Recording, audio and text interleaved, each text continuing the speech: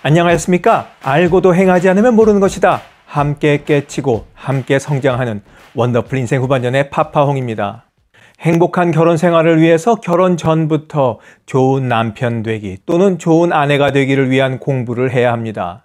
또 아이를 가졌을 때는 좋은 부모가 되기 위한 공부를 해야 하는 것처럼 나이 들어 인생을 충만하게 살기 위해서는 나이 듦에 대한 공부와 어른 공부가 필요하죠.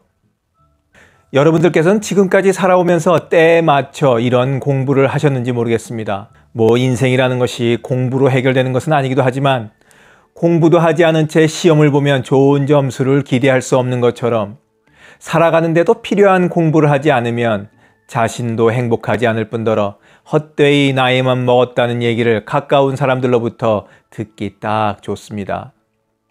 그래서 오늘은 82살이 되신 인생 선배가 알려주는 나이만 먹지 말고 하루하루 나아지는 인생을 사는 법에 대해 여러분들과 이야기 나눠보려고 합니다. 충만하게 살고 싶으시죠? 하루하루 성장하는 인생을 살고 싶으실 겁니다. 그렇다면 오늘 영상 끝까지 함께 해주시기 바랍니다. 본격적인 이야기 지금 시작합니다.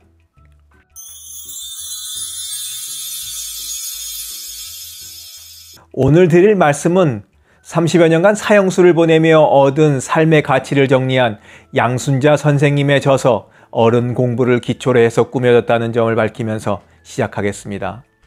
나이만 먹지 말고 하루하루 나아지는 인생을 사는 법. 첫 번째, 열심히 산 사람은 이별도 잘한다. 자신이 살아야 할 이유를 찾아 열심히 산 사람은 다른 사람들과의 이별은 말할 것도 없고 죽음 앞에서도 의연해질 수 있습니다.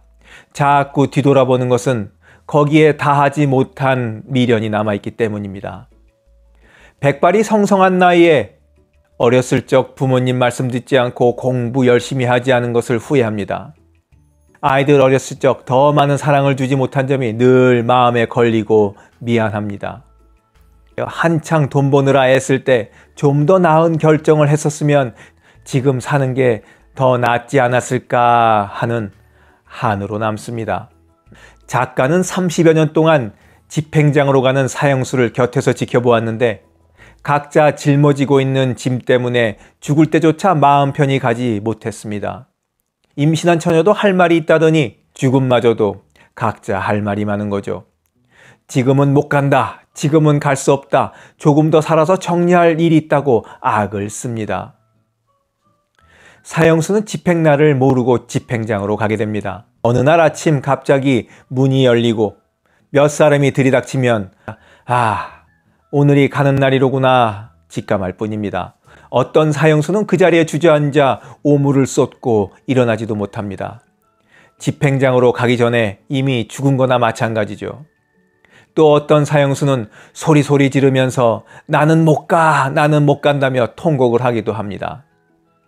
도살장에 끌려가는 수도 울면서 몸부림을 치는데 사람이야 오죽하겠습니까?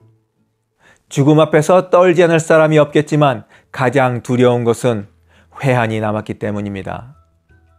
가슴에 회한이 사무치지 않도록 못다 전해준 사랑이 남아있지 않도록 하루하루를 충만하게 살고 정성을 다해 사랑을 전해야 합니다. 그것이 언제 닥칠지 모르는 이별을 준비하고 또 이별을 잘하는 방법입니다. 나이만 먹지 말고 하루하루 나아지는 인생을 사는 법. 두 번째, 헛된 것에 안달복달하며 살지 마라. 더 많은 돈을 벌기 위해서, 더 높은 명예를 얻기 위해서, 더 넓은 집을 갖기 위해서, 더 비싼 물건을 갖고 싶어서 자신을 들볶고 있지는 않으십니까? 더 심각한 일은 헛된 기대로 안달복달하며 자신을 들먹는 것도 모자라 자녀들까지 또 주위에 있는 사람들까지 몰아세우는 겁니다. 말기암 환자들이 편안하게 임종을 맞이할 수록도 없는 활동을 하는 호스피스 분들의 이야기를 들어보면 한결같은 것이 있습니다. 죽음이 얼마 남지 않은 상황에서 내가 왜 더 돈을 못 벌었을까? 내가 왜 더 유명해지는 길을 선택하지 못했을까? 이러면서 후회하는 사람은 없다는 것이죠. 대신 왜 가족들과 시간을 더 많이 갖지 못했을까? 내가 왜 그 사람에게 그렇게 모질게 굴었을까? 내가 왜 좀 더 너그럽지 못했을까? 내가 좋아하는 것을 하며 왜 내 인생을 살지 못했을까 하는 후회들을 한다고 합니다. 그러니 아직 살아있는 우리가 잊지 말아야 할 것은 바로 지금 행복해야 한다는 것입니다. 지금 가진 게 남보다 적어서 누구보다 유명해지지 않아서 높은 권세를 누리지 못해서 행복하지 않은 것은 헛된 것에 마음에 팔렸기 때문입니다. 돌이켜보면 작은 것에 행복해 하던 때가 있었습니다. 깜짝 놀랄 만한 것, 모두가 부러워할 만큼 비싼 것, 눈이 부시도록 근사한 것만이 행복하게 만들어주는 것은 아닙니다. 진짜로 우리를 행복하게 해주는 것은 어쩌면 지루하다고 느껴져 탈출하고픈 이 잔잔한 일상 속에 있는 게 분명합니다. 늘 우리 곁에 있지만 무시해왔으니 보이지 않았던 것 뿐입니다. 헛된 것에 안달복달 목매지 말고 사소한 것에 눈을 돌리면 어찌나 감사할 것들이 이렇게나 많은지 축복받은 인생이라는 것을 새삼 느끼게 됩니다. 매일매일 마음껏 행복해 하면서 살아가는 길이 여기에 있습니다. 나이만 먹지 말고 하루하루 나아지는 인생을 사는 법. 세 번째, 괴로움의 실체를 눈으로 확인해라. 지금 혹시라도 자신의 인생이 왜 이렇게 꼬였나 싶어서 화가 나고 괴롭고 더 살고 싶지도 않고 누군가가 미워 죽겠다면 무엇이 이다지도 나를 힘들게 만들고 있는지 종이 한 장 꺼내서 하나씩 하나씩 쑥 써놓고 눈으로 괴로움의 실체를 낱낱이 확인하는 겁니다. 그것들이 정말 그렇게 이 귀한 인생을 낭비하면서까지 더 살고 싶지 않을 정도로 누군가가 미워 죽겠는 만큼 힘들어야 할 만한 가치가 있는지 생각해보고 또 생각해보면 얼마나 하찮은 것에 휘둘려 스스로 괴롭게 만들고 있었는지 알게 됩니다. 그때는 죽을 만큼 괴로웠던 일들이 지금은 추억이 돼서 웃으면서 얘기하지 않습니까?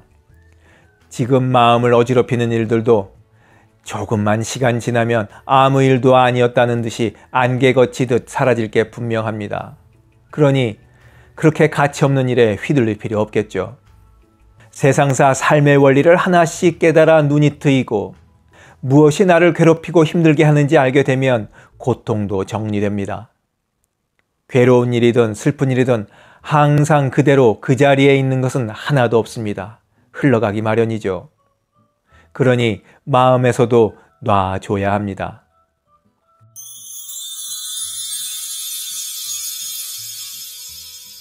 오늘 소개해드린 도서의 저자 양순자 선생님은 이미 작고하셨습니다. 1940년생이니까 살아계셨다면 올해 82살이 되시는 거죠. 도서 어른 공부를 집필 중인 2011년경에 이미 암으로 투병 중이셨습니다. 항암 수술을 위해 수술대에서 마취되기 직전 지상에서의 마지막 기도를 통해서 힘들게 살아가는 사람들을 위해 가장 의미 있는 일을 해보자며 이 책을 쓰시기로 결정하셨다네요. 죽음을 바로 곁에 두고 쓰신 글이니만큼 우리에게 전해지는 울림도 더 진솔하게 다가왔을 거라 믿습니다.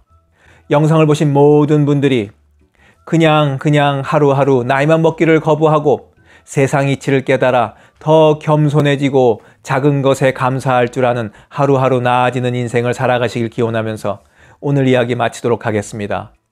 원더풀 인생 후반전에 후회 없는 인생은 계속됩니다. 감사합니다. 하루를 충만하게 살아가는 좋은 사람들이 모여있는 곳이 있습니다. 바로 지난 3월 5일에 문을 연 실버들의 전성시대 네이버 카페입니다.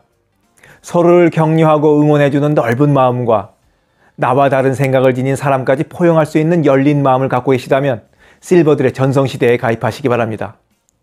댓글란 맨 위에 적어놓은 링크를 누르시면 가입할 수 있습니다. 아주 쉬워요.